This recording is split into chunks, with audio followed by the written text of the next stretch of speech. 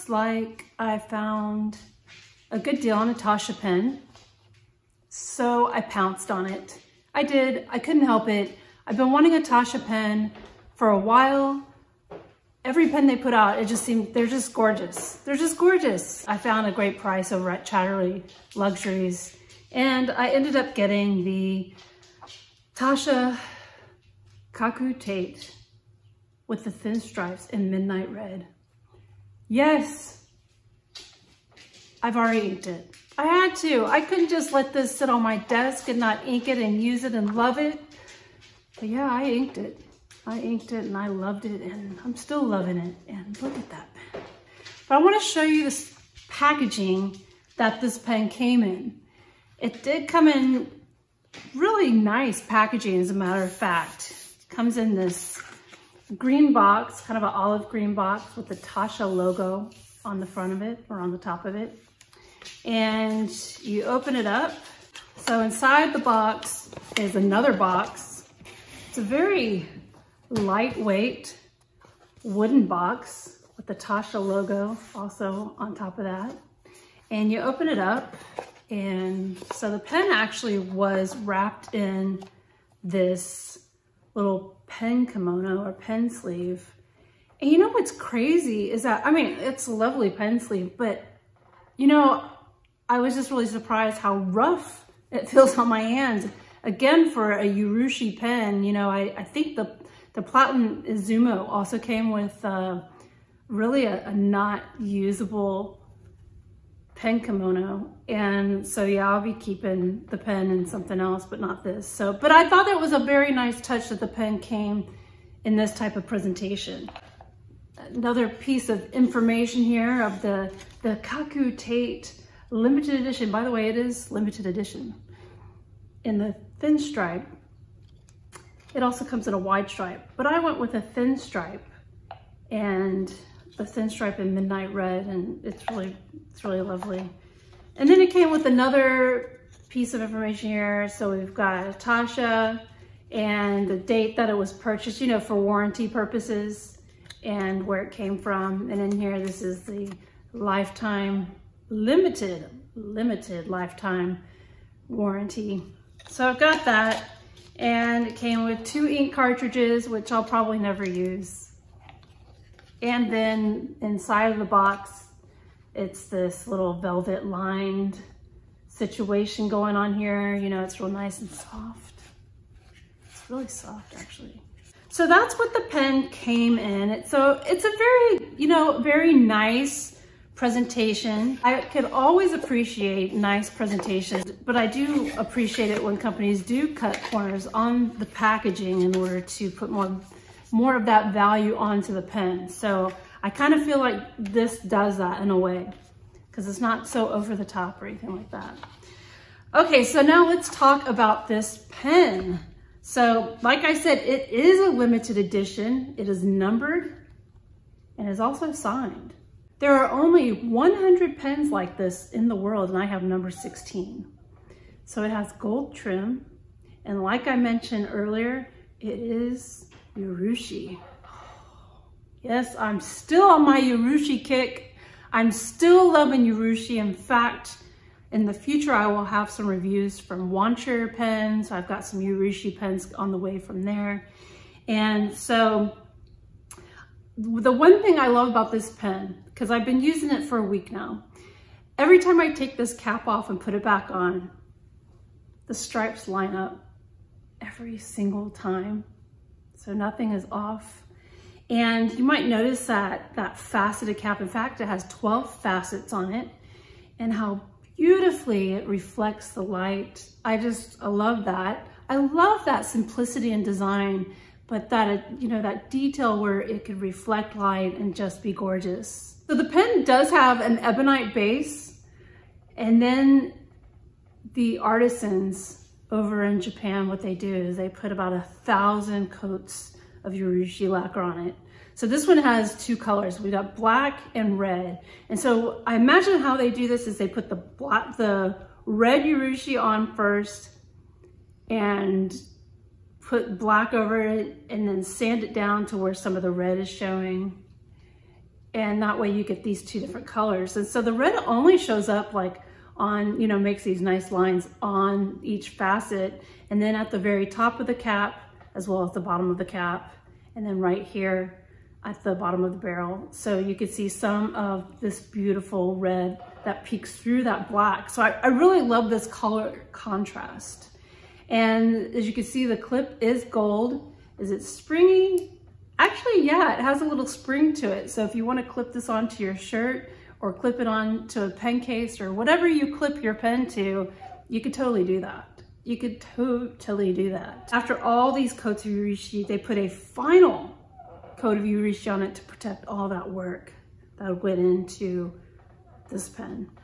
So again, like I mentioned previously with my Mr. Cypress pens, I just appreciate so much the work and the patience that goes into creating these pens. I mean, they really are like these works of art, which the, the final result is just gorgeous, just beautiful. This is a cartridge converter system, but um, before I talk about, we'll get to that, but let's take a look at that nib. So I'm taking the cap off, by the way.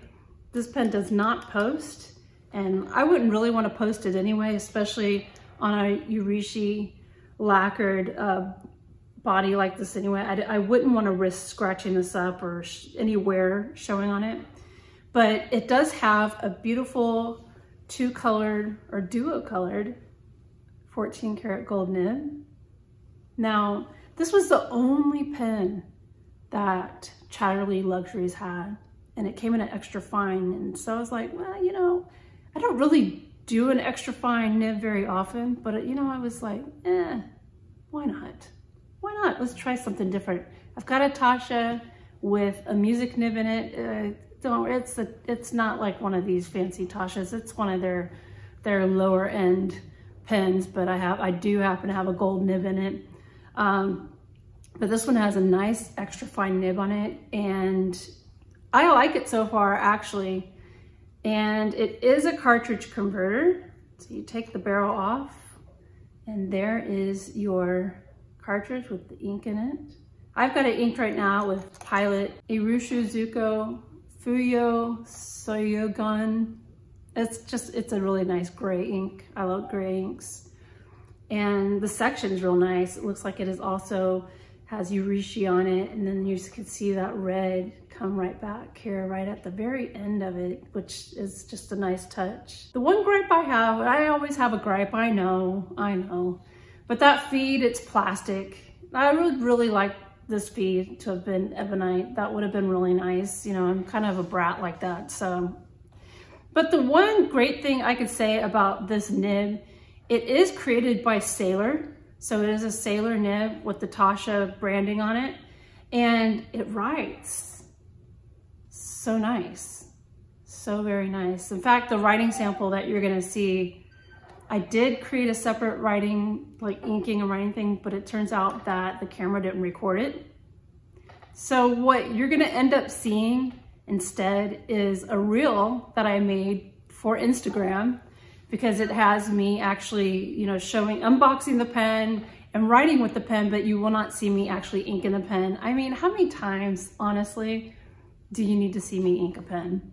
Go ahead, I'll, I'll give you a second to think about it while I put this cap back on in case, because I don't want to drop this pen and just mess it up. By the way, the cap has a little cushion fit in there, so you can kind of feel it when it goes in there, when the nib goes in.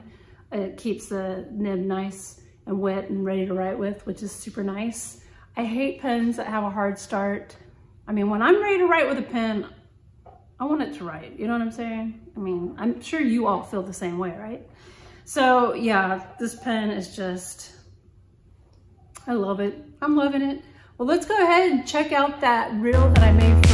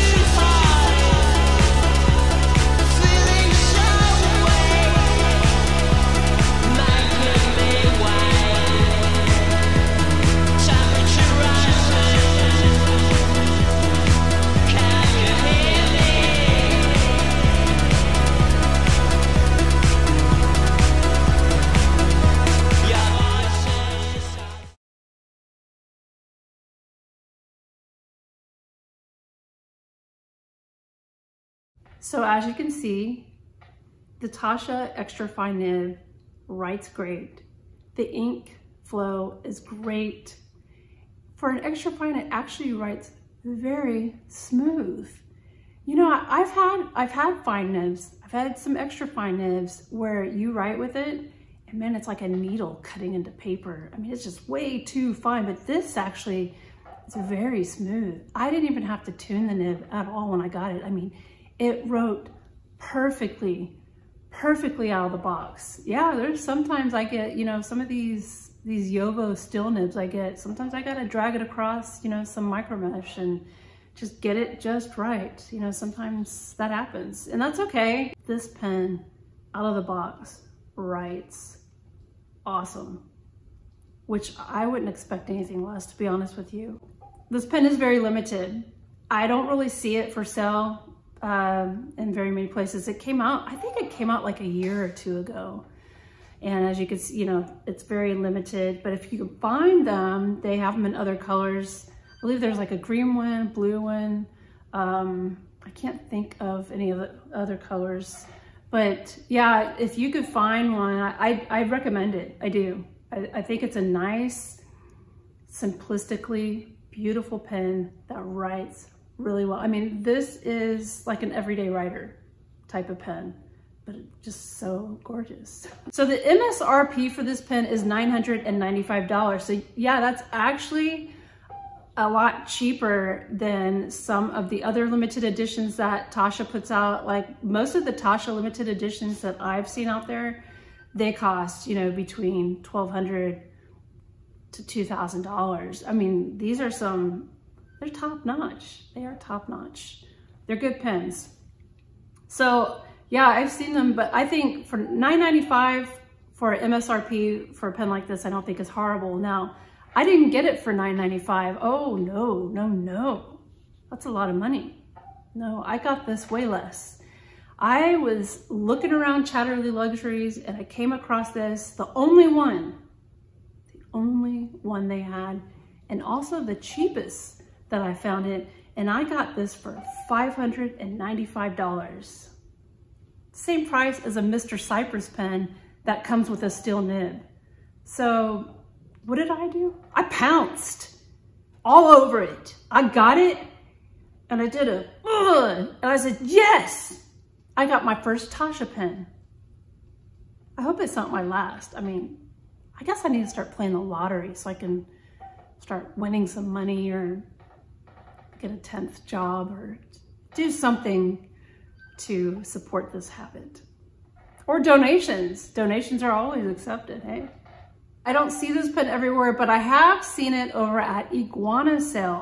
And Iguana currently has this pen for $845. So I personally feel like I got a really great deal on this pen. So especially with it being a limited edition, yeah, I did well. You did good, girl. Thanks. Well, that's all I have to say about this pen.